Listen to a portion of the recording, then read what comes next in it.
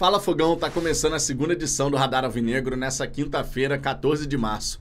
Tô aqui novamente para a gente poder trocar uma ideia sobre essa situação envolvendo Marlon Freitas e esse suposto interesse do Vasco, inclusive com um valor meio que estipulado para o Botafogo começar a conversar sobre a possibilidade de negociar o atleta. Tem várias pontas soltas nessa história e eu vou trazer aqui declarações do Pedrosa, do Vene Casagrande e da Fernandinha Maia a respeito desse assunto. Também quero destacar declarações do Fábio Matias. Ele falou com o programa Seleção Sport TV, comentou a sua função hoje no Botafogo, a sua ambição futura e a sua relação com John Textor. São declarações bem interessantes. E também vou destacar, claro, a informação trazida pelo André Rizek de que o Fábio Matias segue na condição de interino, será valorizado e o Botafogo segue buscando o novo treinador. Vamos trocar uma ideia sobre tudo isso, Fogão? Só que antes de mais nada, já sabe, aquele pedido especial. Deixa o seu like aqui no Fala Fogão, isso ajuda pra caramba para que mais botafoguenses passem a conhecer o nosso trabalho e verifique se você já está inscrito aqui no canal. Nós estamos agora nos aproximando dos 43 mil inscritos e com a ajuda de vocês chegaremos lá com toda certeza. E olha, lembre-se que às 10 e 05 da noite eu e Ricardo Azambuja estaremos aqui ao vivo, mais uma live, falando com a galera tudo sobre o dia do Botafogo. Fechou? Bom, dito isso, vamos em frente, vamos começar tratando sobre essa situação envolvendo Marlon Freitas, Botafogo, Vasco. O Pedrosa e o Vene Casagrande estão insistindo nessa informação que já faz alguns dias eles comentaram no SBT Esportes Rio. Hoje eles tornaram a falar sobre esse caso e eu vou trazer aqui algumas declarações, tanto do Venê quanto do Pedrosa e da Fernandinha Maia. Se liga no que o Venê comentou. Abre aspas. O que precisa ser dito é que o Vasco tentou a todo custo, até o momento, porque tinha o ok do jogador. O jogador queria jogar no Vasco. Essa é uma informação nova. Isso antes não tinha sido comentado, mas o Venê está trazendo aqui esse destaque. O Vasco não ia tentar ficar a todo momento brigando com o Botafogo se não tivesse o ok do atleta. Tanto que o atleta chegou a se reunir com um membro da diretoria do Botafogo, junto com seu empresário, pedindo para ser negociado com o Vasco. O John Textor bateu o pé e não quis negociar. Acho certos o Textor, o Vasco e o jogador.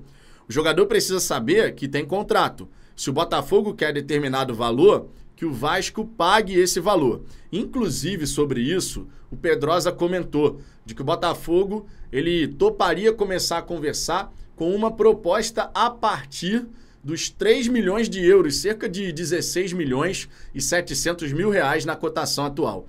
Pedrosa comentou o seguinte: é claro que depois da classificação ontem, quando ele jogou demais, as coisas ficaram mais difíceis. O Marlon hoje é titular do Botafogo. O Vasco trabalha na paciência. Ontem conversei com algumas pessoas do Vasco e estão buscando essa informação para tentar preparar uma oferta de empréstimo com obrigação de compra. E o valor que eles chegaram é 3 milhões de euros, para o Botafogo começar a considerar qualquer tipo de proposta. O Botafogo não quer vender o Marlon. Hoje, com o Botafogo na fase de grupos, é muito difícil mas sabemos como é o futebol. A vontade do jogador muitas vezes pesa, então temos que aguardar. E o Pedrosa aproveitou para destacar a postura do meio-campista, dizendo o seguinte: temos que destacar o profissionalismo do Marlon Freitas. Essa negociação está acontecendo há semanas. E o Marlon sempre vestiu a camisa do Botafogo. Independente de ter negociação do que ele quer ou deixa de querer, ele está sendo profissional e continua jogando muita bola com a camisa do Botafogo.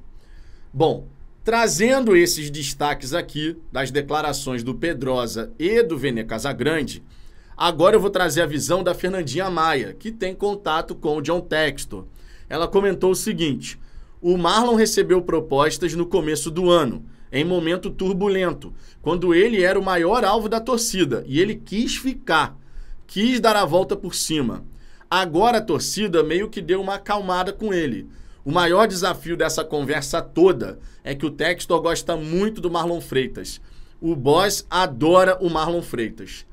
E o próprio Textor comentou sobre essa situação, dizendo que chegou até proposta de fora, internacional, pelo Marlon, mas que ele não quis nem abrir conversa porque ele quer o Marlon no Botafogo. E vale destacar, o Marlon Freitas tem contrato com o Glorioso até dezembro de 2025. Então, se o Marlon eventualmente quiser sair, o Botafogo tem que concordar. Agora, honestamente, não faz o menor sentido nessa altura do campeonato pensar em negociar o Marlon. A janela internacional já fechou. A gente teria que ter uma reposição aqui no futebol brasileiro, mas já vai chegar o Alan no meio do ano. E o Marlon voltou a jogar bola. O Textor gosta do atleta e o Marlon voltou a jogar bola. Ontem, inclusive, comemorou a classificação do Botafogo de forma bastante efusiva ali ao lado dos seus companheiros. Tem várias pontas soltas nessa história. Eu não duvido de fato que o Vasco tem interesse no jogador, mas essa história de que, olha, negociações há semanas, o jogador quer jogar no Vasco, eu não compro esse barulho não, sinceramente. De verdade. O próprio Textor já deve ter conversado com o Marlon e seu empresário. E por falar em empresário, tá com uma cara de que o empresário tá forçando uma barra. Tá com uma cara que eu vou te falar. Vamos aguardar o desenrolar dessa história. Eu, honestamente, não pensaria em negociar o Marlon agora. Se teve um momento para o Botafogo negociar o volante, isso foi lá atrás, lá em dezembro, começo de janeiro, quando muito. Agora, agora não faz o menor sentido, sendo muito sincero. Agora, o André Rizek, ele trouxe uma informação super bacana, mudando de assunto, sobre o Fábio Matias e a sua condição de interino. No programa Seleção Sport TV, o Rizek trouxe o seguinte destaque. Abre aspas. Conversei com pessoas do clube ontem e hoje. Até esse momento, a situação é de interinidade mesmo. O plano do Botafogo, do John Textor, é contratar um técnico de passagem por grandes clubes europeus, sugerindo que é um treinador estrangeiro. O plano do Botafogo é esse, mas sabemos as coisas no futebol podem mudar. Fábio cumpriu uma meta, vai ser valorizado. Ele sabe que é contratado para ser membro da comissão fixa. Até o momento, até eu entrar no ar, o recado é que procura técnico. Textor se arrepende de não ter dado apoio ao Bruno Lage, não ter dado suporte. Entende que o problema foi de comunicação. Se arrepende de não ter dado suporte maior lamenta que estrutura, mentalidade, maneira de jogo do Luiz Castro acabou sendo derretida. Por isso o clube assume um erro de ter efetivado Lúcio Flávio. Imagino que não vão se empolgar com o começo extraordinário. Vão manter plano de procurar treinador e ter o Fábio como profissional do clube na comissão técnica, né? na comissão fixa. Eu já falei sobre isso, eu acredito que é a decisão mais acertada. A gente fala tanto em queimar etapas com jogadores da base, conforme já disse aqui no canal, e pouco se fala sobre o mesmo processo de fritura quando é um treinador que está subindo da base para o time principal. O Fábio está mostrando uma capacidade muito interessante, mas o próprio já falou que ele tem etapa ainda a cumprir para poder terminar esse ciclo de observação, ou seja, trabalhar com outro treinador para poder de fato estar mais preparado para esse desafio. Já disse e repito: uma coisa é você comandar uma equipe num curto período de tempo. Outra coisa bem diferente ao longo de toda uma temporada, onde você tem uma série de nuances. Boa fase, má fase, derrota duas, três seguidas, sequência de vitórias que você não pode subir no salto alto, enfim, tem muita coisa que acontece ao longo de uma temporada. Muita coisa mesmo. E a gente precisa de um treinador pronto. O Fábio vai chegar nesse momento, vai chegar nesse ponto. Mas ainda não está lá. Agora, vamos, claro, trazer aqui algumas declarações do profissional. Ele comentou sobre a sua situação, né, a função que ele exerce hoje no Botafogo, falou sobre a sua relação com o John Textor e também sobre a sua ambição futura. Tem mais declarações, mas aí você pode conferir na íntegra tudo isso no site do Fogão Net. Vamos trazer esses três tópicos aqui, começando pela função do Botafogo. Abre aspas. Hoje, dentro do Botafogo, sou auxiliar permanente do clube. Venho para essa função. Lógico que a ideia nossa de construção para carreira mesmo é treinador, não de auxiliar. Se pegar minha carreira toda, nunca fui auxiliar. Vi no Botafogo essa oportunidade de fazer transição da base para profissionais, que é difícil. Venho ao longo dos anos tendo bons trabalhos na base Isso foi solidificando até chegar no teto da base, que é o sub-20. A vinda para o Botafogo foi para dar um salto, vivenciar o profissional. Já tinha vivenciado em outros times. Tive jogos em Internacional, Flamengo e Fluminense.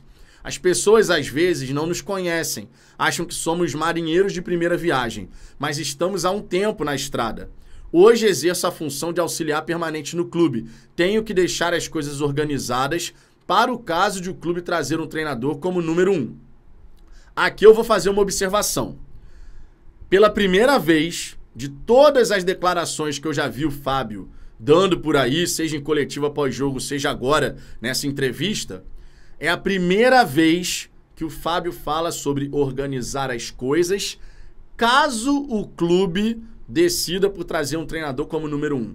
Ele não tinha se posicionado assim anteriormente. Você vê que o próprio treinador, o próprio profissional, vai começando a vislumbrar a possibilidade. Foi o que eu falei aqui na hora do almoço. Se o Botafogo eventualmente faz um convite ao Fábio, eu duvido que ele vá dizer não. Duvido, de verdade. Mas é a primeira vez, então eu faço essa observação. Porque anteriormente, as falas do Fábio foram numa direção contrária de organizar as coisas para que a chegada do próximo treinador seja o menos traumática possível. Ele falou nessa linha anteriormente. Então a própria cabeça do profissional começa a virar uma chavinha ali. Em relação à relação com John Textor, o comentário do Fábio foi o seguinte: Tive a oportunidade de conhecê-lo pessoalmente semana passada, quando ele esteve aqui no Brasil. Tivemos uma conversa muito interessante com ele, duas ou três horas, para entender um pouco o que ele entende sobre futebol. Ele é acima da média e olha que trabalhei com muitas pessoas. Tem leitura interessante em relação a jogo e a jogadores. Foi muito mais para escutar o que ele pensa sobre futebol. Conheço muita gente. Eu faço um plano de jogo e envio para o texto, o que executo, laboro e construo com a comissão técnica, para ele entender o que estamos fazendo e se está condizente com o que ele tem feito. Já era um hábito meu fazer esse plano de jogo, temos a capacidade de enviar para ele. Começa a coordenar ações, ideia do treinador com o que o clube quer. Pós-jogo temos essas conversas, nós, Mazuco, Brito, o Augusto, Carly, que é muito importante no processo. Trocamos figurinhas, sempre em conjunto com as pessoas do clube. Esse aqui é um ponto bem legal, cara. Bem legal mesmo. O Fábio Matias compartilhando essa informação de que o plano de jogo que é preparado é passado para o John Textor, não para ele aprovar, mas para ele poder entender aquilo que está sendo feito, quais são as ideias, os conceitos e, claro, o Fábio não está dando ponto sem nó. No momento que ele manda o plano de jogo para o texto, ele também está querendo demonstrar, mais até do que somente com os resultados, que são sensacionais, cinco vitórias e um empate, classificação para a fase de grupos da Copa Libertadores, mas ele quer mostrar para o texto competência. Ele mostra o plano de jogo, ele explica direitinho aquilo que ele está pensando, que ele está fazendo, como está construindo, porque isso, claro, vai fazendo o profissional subir no conceito do John Textor. E não está errado, tá? E não está errado, tá mais do que certo. Se ele almeja, se ele tem essa ambição de ser treinador principal, ele tem que aproveitar as oportunidades que a vida apresenta, certo? Então ele está mais do que certo de compartilhar isso com o John Textor. Tá certo ele. Agora, sobre querer ser treinador, aproveitando aqui que eu mencionei essa questão da ambição, o Fábio falou o seguinte: todos temos ambições. Independentemente de ser no Botafogo ou em outro clube, tenho ambição de ser treinador. Mas quando vim para cá, entendo a minha posição. É ajustar e organizar as coisas para quem vem.